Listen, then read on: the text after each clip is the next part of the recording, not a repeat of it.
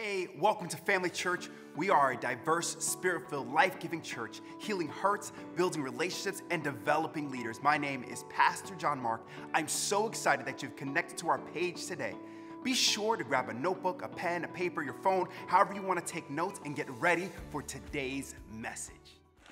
One friend away. If you're watching online and you're like, I'm not going to go to church this month because they're talking about friends, and I've got 10,000 friends. Maybe you don't. Maybe you have a bunch of acquaintances, but we're talking about friends. We're talking about the ones who stick closer than a brother. We're talking about real friendships, real relationships. I want to tell you, we had a great weekend with the ladies. Our ladies' conference was this weekend. It was wonderful. We had two great guests who were here uh, preaching and teaching and sharing a lot of great information. Uh, men, do not miss out on the men's event. Okay, I understand that not all men think that they're outdoors kind of guys.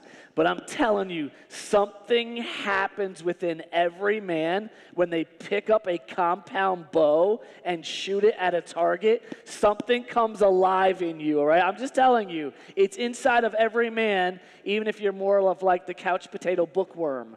You got to sign up for this event and come out, all right? Um, one more thing that I want to pitch to you guys real quick. Uh, I had a really busy week, really great week, but I was uh, with Pastor Joel Osteen on Tuesday night and he is hosting another.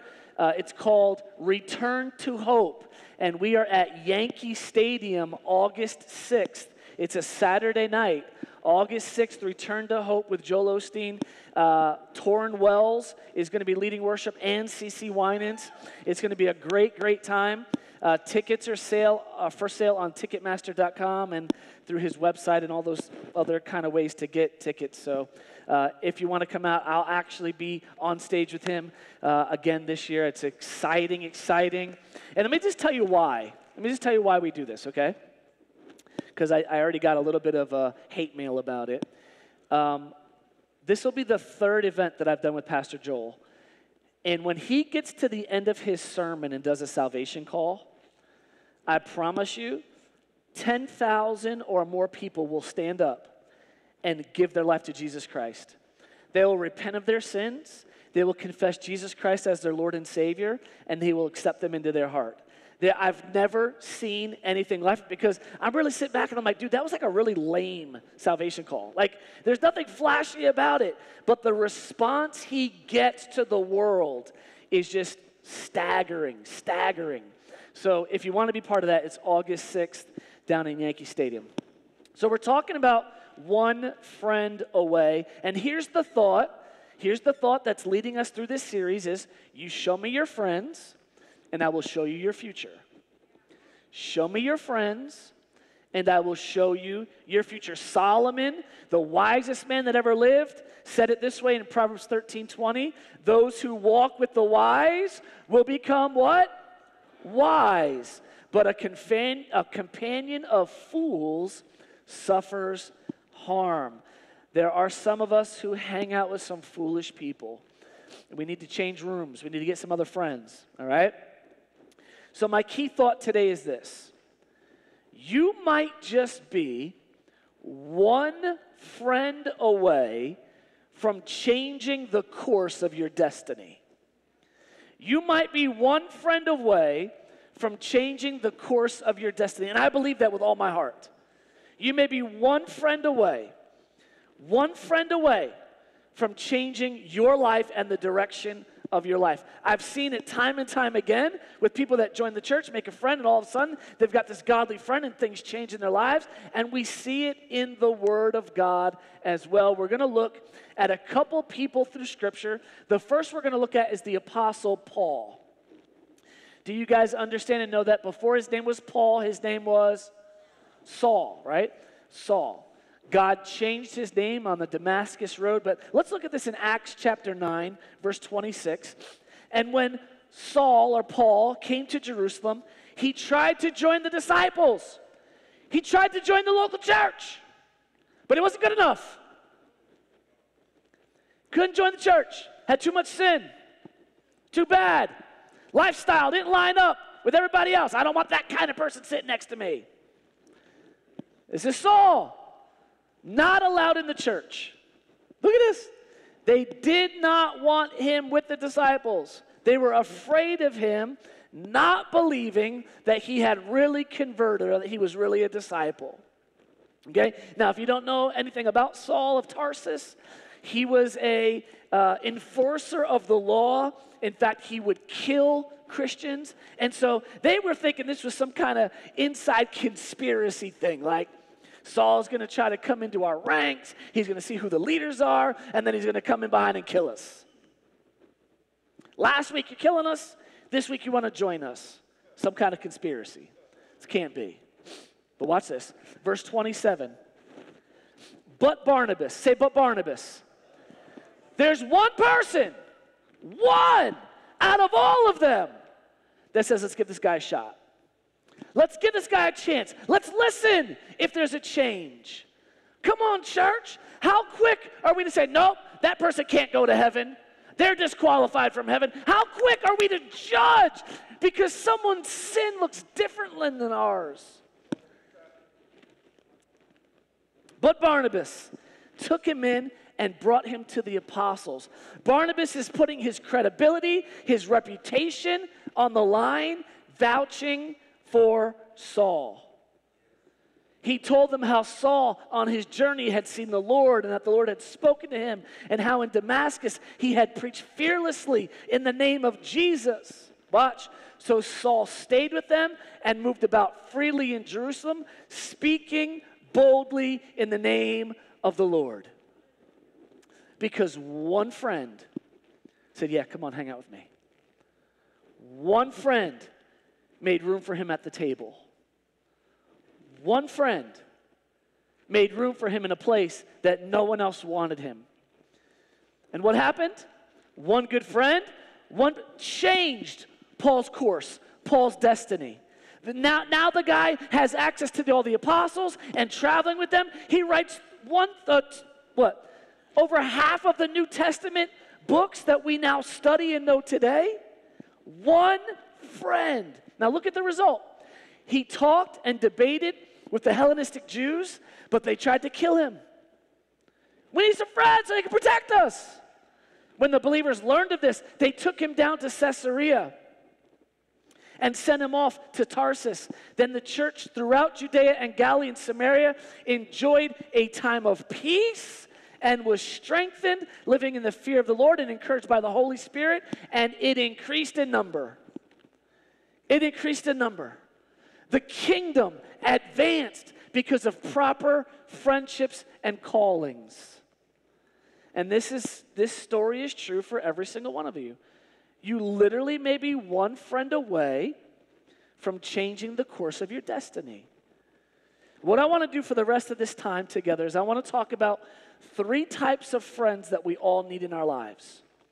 Three types of friends that we all need in our lives. And maybe today you can point out one of these types of friends that you don't yet have in your life. Is that all right? The first we're going to look at today is this man named Samuel. Samuel. If you're taking notes, write this down. Here's the kind of friend you need. We all need a friend who makes you better. We all need a friend who makes you better. Makes you better makes you better.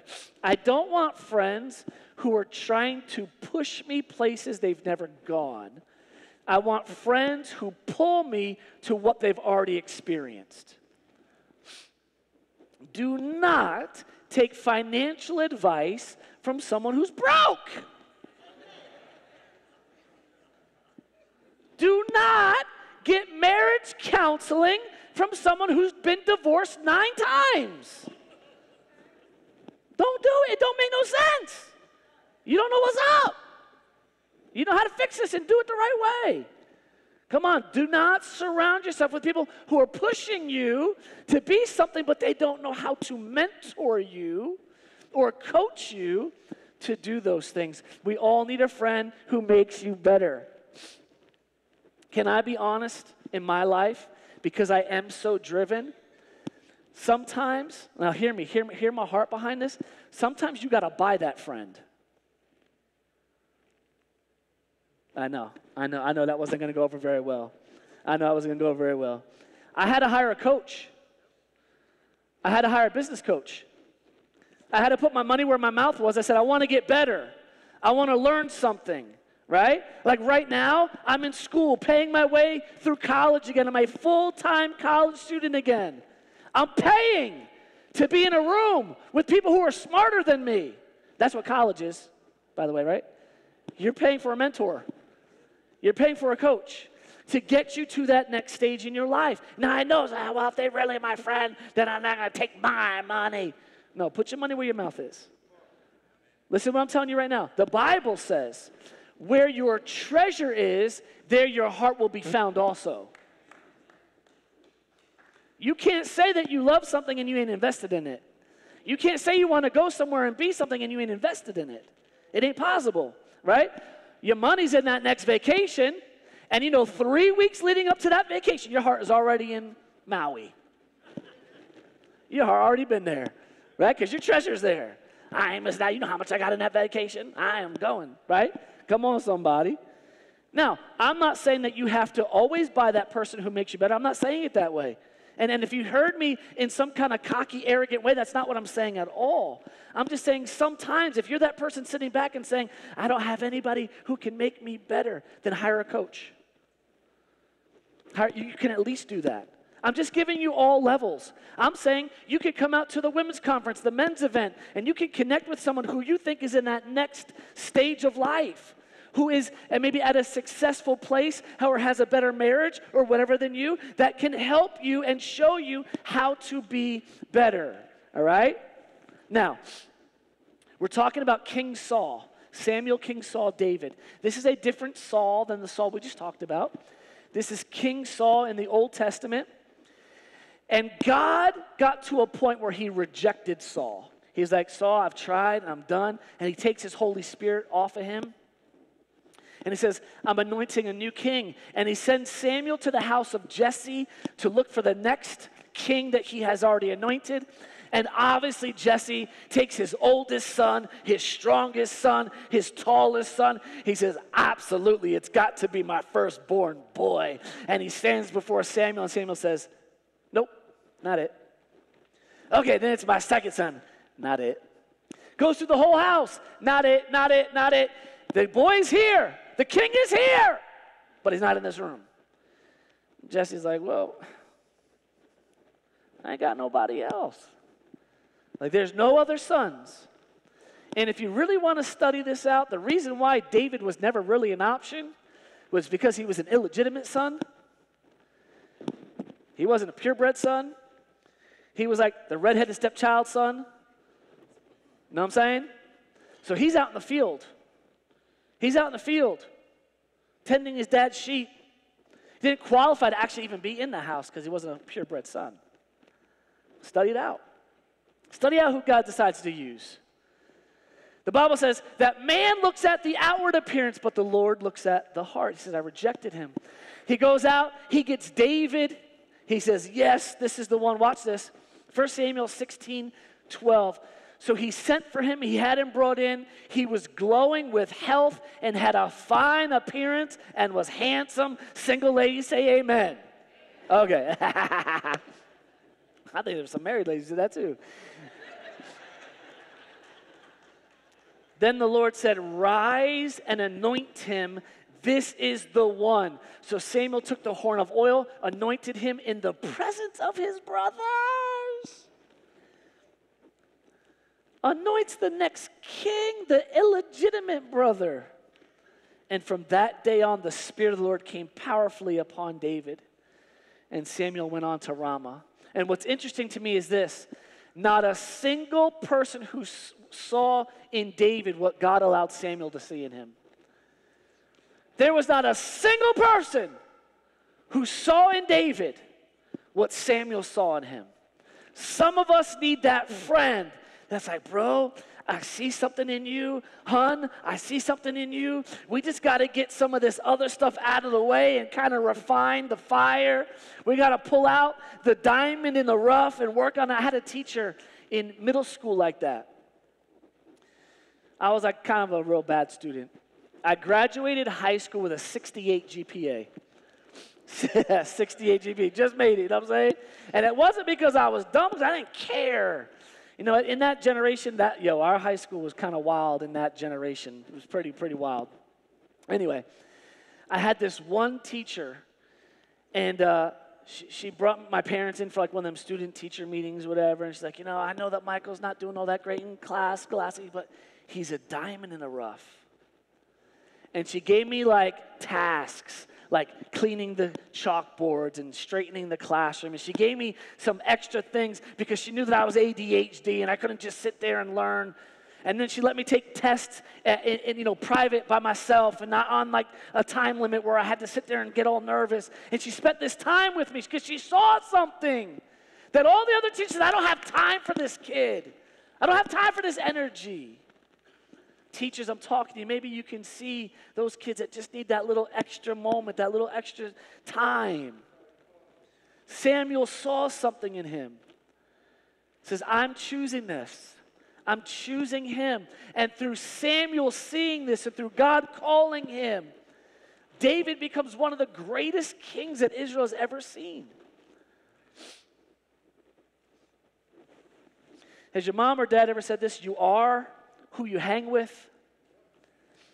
You are who you hang with. The kind of people you hang with will rub off on you. The friends that kind of bring you down, that are kind of like, uh, chances are those kind of friends that really aren't enhancing your life happened accidentally. The friendships that are actually enhancing your life and making you better most likely did not happen accidentally. They happened intentionally. You saw somebody, you saw something, or they saw something in you, and they wanted what you had, or you wanted what they had, and there was an intention behind it. I'm just saying, maybe we need to be a little bit more intentional about the next season and where we're growing in our lives. It wasn't by accident that Samuel was going to make David better. You might just be one friend away from changing the course of your destiny. Here's what I want to ask you Do you have someone in your life right now who makes you better? Who makes you better? Who makes you better? If not, it might be time to find the friend that makes you better. Do you have the friend that makes your marriage better? If you're hanging around a bunch of people with bad marriages, it's not going to make your marriage better. If you hang around a bunch of people that all you do, guys, when you get together is just trash your spouses, it ain't gonna make your marriage better. Okay, hopefully that's helping somebody. Show me your friends, and I'll show you your future. If you're hanging around a bunch of people who are divorced, Shondo. If you're hanging around a bunch of people who eat really bad, you're going to eat really bad. It's, it's just a fact, all right? It's just who's making you better? Who's making you better? At the same time, God wants to help you find those friends to make you better. He is leading that. So maybe maybe you're a more introverted person and it's hard for you to go out and do that. I get it. But ask for strength. Lord help me. There's somebody that I saw at church, or there's somebody I saw at a conference, or someone I see at work that, that they're kind of like a role model to me. Lord, give me the courage to go and say hi to them and make friends with them. Proverbs 27 17 says, As iron sharpens iron. Say it with me. Iron sharpens iron, so a friend sharpens a friend. Someone who makes you better, someone who makes you sharp. David had a friend named Jonathan. Jonathan was Saul's son, King Saul's son. King Saul was coming after David, was going to kill him. The king's own son was David's friend. And that brings us to the second kind of friend we need. We all need a friend who helps you find spiritual strength. We all need a friend who helps you find spiritual strength. We all need a friend who helps you find spiritual strength. Every single one of us who follow Christ need others who will help you find spiritual strength in the Lord. Can I be transparent with you guys? We are in this conference, and this lady said that we, we need to be, um, what was her wording? We need to be honest or transparent with uh, many and only vulnerable with a few, but I'm be vulnerable for a moment with everybody. All right, just kind of who I am. Uh, had a great week, like mountaintop week. I was on, I was interviewed by Joel Osteen on XM radio live this week. Like I was so like living on, like I was on cloud nine, like, yeah, this is amazing. The next day I'm driving down the road and I began to see myself putting the gas pedal to the floor and driving 120 miles an hour into a tree. I saw myself like unhook my seatbelt. I like I, I envisioned the whole thing, unhooking my seatbelt, and I saw what would happen when my car hit the tree, and I could envision going through the windshield. And and all of a sudden, like I'm not suicidal, I'm not feeling anything like that, but I've almost felt it calling to me. It was like, not only could you do this, like, yo, let's do this. I'm, I'm on a mountaintop. I'm feeling good. I had a great week. What is this? Caught this anxiety attack. Caught this anxiety attack in the middle of the car. My chest is shaking. I can't breathe. I have to pull over. I pull over. I call one of my best friends. I'm like, dude, I don't know what's happening right now. Like, I don't even know what's going on right now. He's like, How much coffee are you drinking this week? And I'm like, 10 gallons a day? I don't know. A lot. kind of talking me off the ledge and like, you know, what's going on? Let's, let's go through some stuff. I get back to the office and I'm shook. I'm like still shook because I'm like, what's going on? Like my chest tight. I can't breathe. What, what's happening right now? And sit down my team and I'm like, someone asked me, yo, you're all right? I'm like, no, I'm not. This is what just happened. And a couple of staff members and a couple of volunteers and a couple of family members, they just kind of move their chairs close, lay their hands and pray. And take authority over that. Pray, pray strength. Do you have a friend? Do you have a friend that in a moment isn't just going back, oh, dude, that sucks? Who can you call that can throw down on a prayer at any given time that you need prayer? Do you have the friend that can be there for you spiritually? A strong spirit will sustain you bodily, but a wounded spirit, who can bear? So when your spirit is wounded or when you do feel down, can you lean into a friend who will lift you up spiritually? 1 Samuel 23 15 and 16. While David was at Horesh in the desert of Ziph, he learned that Saul had come out to take his life. And Saul's son Jonathan went to David at Horesh and helped him find strength in God. He didn't just sit there and listen to him complain. He didn't just sit there and take on David's offense. Yeah, let's get out, let's go kill my dad. He didn't do that. He said, Bro, we need to pray. We need to make a sacrifice. We need to bring this to the Lord. And he lifted him up and helped him in the Lord. He prayed for him. He lived. Do you have that friend that helps you find spiritual strength? Because I don't care how spiritually mature you think you are. I preach 45 times a year. When you have a moment that your mind is going wild on you, you need someone who can speak into your spirit. Someone who can speak into your spirit. We're all going to be tempted. We're all going to have emotional days. We're all going to question things around us. Who can you call in that moment? I'm not, to, listen, listen, listen. We don't need a friend that's going to say, All right, I'll pray for you. Listen, if anybody tells you that, they're not actually going to ever pray for you.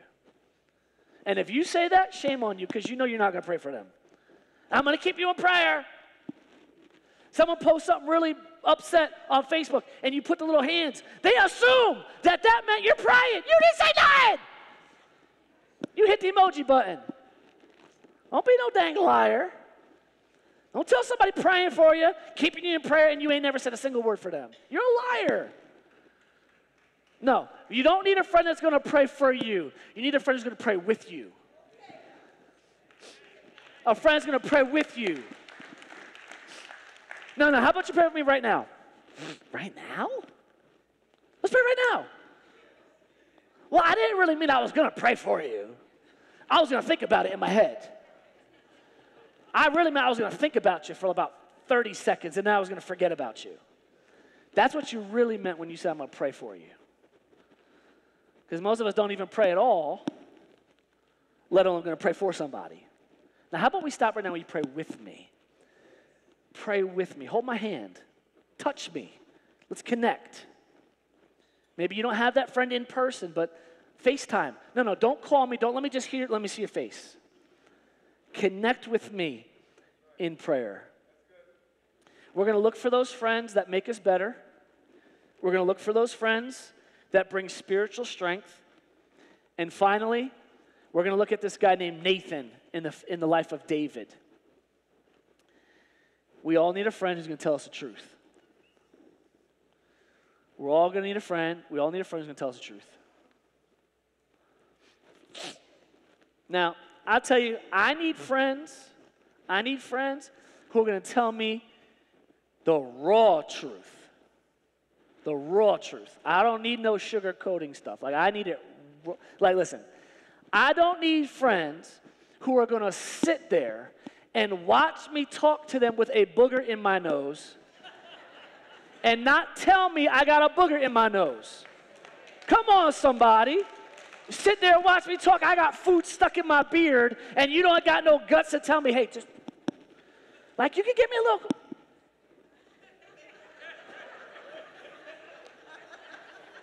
Give me something, but don't let me stand there and be all awkward. You didn't give me a heads up. Tell me the truth, man. Tell me the truth. If I got up and I and I gave a fact that wasn't accurate because I heard somebody else give a fact, that they heard somebody else give a fact, but we didn't really do our research and we just talk it out our face. Come on. People love hearing their opinions. But what's the fact? What's the words? What's the data? Who's going to tell you the truth? Who's going to tell you when you're ranting and raving about your point of view, say, dude, you're wrong. You're wrong. You got a friend that can tell you you're wrong? And I'm not talking about your spouse, because you're always wrong to your spouse. Those things, it's very hard for that to be that sort of person. I'm talking about another guy. Let me talk to the men for a second. Listen, as much as wives feel the need and really do aspire and want to give their word, their husband words of affirmation, only a man can affirm another man, truly affirm another man. Now, wives, yes, you can 100% affirm us in the bedroom.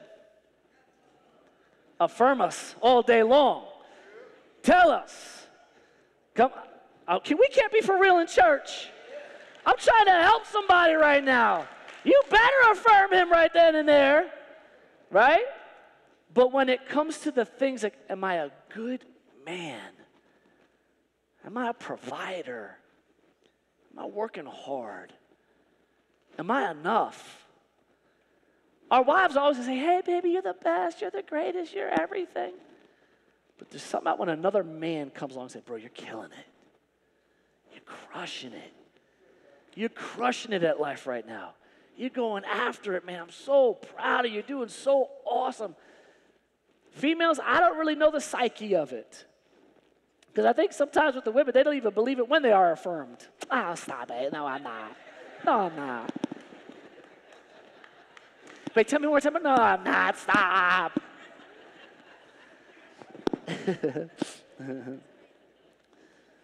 but do you have a friend who's going to tell you the truth? Tell you the truth. And here's what happened with David. You know, David is called the man after God's own heart, and God was pleased with him. But for a brief moment, David took his eyes off the Lord and he saw Bathsheba. Bathsheba bathing is a hubba bubba bubba. Uh, Bathsheba. He committed adultery with Bathsheba, had her husband killed, and he put the whole kingdom at risk. And in that moment, he didn't see the gravity of his decision. He didn't see it because he just saw what he wanted. And God sent a man called Nathan to tell him the truth. And Nathan sat down with him and he said, David, I want to tell you a little story. Once upon a time, there was this really wealthy guy, and he had sheep and cattle, so many he couldn't even count. And there was this really poor guy, dirt poor, had a little lamb. Most important pet to him. And one day a traveler came and was hungry, and so the wealthy man didn't use any of his own livestock, but he went took that little poor lamb, that, that poor guy's lamb, slaughtered it, and gave it to the traveler. And David's like, How can he do that? He's wicked and he's evil. That's the worst thing ever. This guy should pay for that. And Nathan said, You're right. You're that man. And it's the word altaish Altaish is the word that Nathan says. Altaish, you are that man. You are that man. You see, Nathan loved the king enough to tell him the truth, even though the king could have killed him for it. A lot of us don't tell each other the truth because we are sorely codependent. I'm not going to tell you the truth because I don't want you to yell at me. I'm not going to tell you the truth because I know you're going to have an attitude. You're not going to talk to me for three weeks. We all need to grow up. We all need some emotional health. You are not perfect. You have not arrived. You got problems. Listen, can, can I tell you, can I just talk to somebody real quick, man? If someone comes up to you and tells you you're an addict, you have a problem, you have an addiction, instead of getting angry, because every addict gets angry when someone tells them the truth, take one minute and say, Is there truth to this statement? Is there truth to this statement? Do I have a problem? Because by the time someone else has to tell you you have a problem, you have a really, really bad problem. I'm just trying to help somebody today. I'm talking about having friends, man. The Bible says, and suddenly David saw what he hadn't seen before, and he was brokenhearted before God. I I did that. I did that. I'm, I'm that guy. I'm doing that. I'm hurting other people that way. I've become that selfish. I've become that blinded. I've become that arrogant, that ego. I, me? Repented before the Lord. Psalm 51, if you ever want to take some time and read it, is one of David's accounts of one of his repentances. And he prayed with Nathan after Nathan confronted him. I would ask you now, I would ask you this when is the last time you've been with a friend that loved you enough to tell you you're wrong? To tell you, don't go there, that's stupid. Don't do that. That's not the right choice for you. Don't do that. You're going to hurt somebody. Don't go there. That's going to hurt your testimony. Don't do that. You're going to break your own heart. We need a friend who's going to tell us the truth. On the flip side, we need a friend who's going to tell us the truth and say, You're living so far beneath your potential. Go for it. Jump out. Take a chance. Go for the promotion. You've got the goods. It's the friend who's calling out the best in you, calling out the truth in you that you might not see yourself. You might be one friend away from changing the course of your destiny. And just let me kind of close out with this. And if you give me a little bit of permission to be dramatic, some of you will never become who God wants you to be if you keep surrounding yourself with relational poverty. Some of us will never become what God calls to be when we keep hanging around with the same bum friends that are bringing you down and not making you better. Some of you, your relational capacity is so big that maybe you need to open up your friend group to let more people in. Maybe you can be the leader of that group that brings up the others around you. You might be one friend away from having the best marriage of your life. You may be one friend away from becoming the parent that you always wanted to be. Maybe you're one friend away from being more generous than you ever thought you would be. Maybe you're one friend away of overcoming addiction that you've been trying to get past for years. Maybe you're one friend away from waking up with a divine purpose for living for a higher calling. You could just be one friend away. If you show me your friends, I promise I can show you your future. But here's the one thing that I know that God said it is not good that man be alone. It is not good that man be alone. And in that moment, man even had God at that time. He had full access to God. And God says, Yo, as much as I love this relationship with you and it's just me and you, it's not enough. You need another friend like you. But I would also say this don't be stuck on trying to find someone who's like you. Don't be stuck on your same demographic, your same age, your same stage. Some of my greatest friends are a lot older than me, a lot wiser than me, have stuff to add to me. I've got friends that are a lot younger than me that are saying, Hey, Pastor Mike, show me how you got to where you're at. What did you do? What kind of work ethic? What kind of books are you reading? Come on, both sides married, single, whatever, different stages, different backgrounds, different socioeconomic backgrounds, different cultural backgrounds. In fact, I'll tell you this I don't actually have too many white friends. It is what it is. If you look at your friends, look at, look, at, look at the groups of people you constantly find yourselves hanging out with. Who are you attracted to? What kind of rooms are you called to? But there's one that you'll never be fully satisfied without having him in your relational life, and that's God. He's that friend that sticks closer than a brother. He's that friend who literally laid down his life for you. He gave his life so that you could eternally be in relationship with him. He literally put his money where his mouth was. He literally put his life where his words were. He said, I want to be with you for all eternity. If you're here today and you've never had an opportunity to begin a relationship with God, we'd like to offer that to you today. And we do that by praying a prayer. And that prayer goes like this if you would all join me. Dear God, I come to you just like I am. I believe that Jesus Christ is my Lord and my Savior. Jesus, I invite you into my life to change me and to make me new. Thank you for accepting me. In Jesus' name, amen. Amen. If you're watching online and you prayed that prayer for the very first time, would you fill out the online Connect card? One of our online hosts would love to send you our six day devotional called Starting Point. If you're in the room today and you prayed that prayer for the very first time, would you allow me the honor to celebrate you for two seconds? Would you just wave at me real quick and say, Pastor Mike, that's me. I prayed that prayer for the very first time today. Anybody at all, as I look across the room, we're all, we're all family today. Praise God. Awesome, awesome, awesome. If you are ever interested in that starting point book, our care team members have them.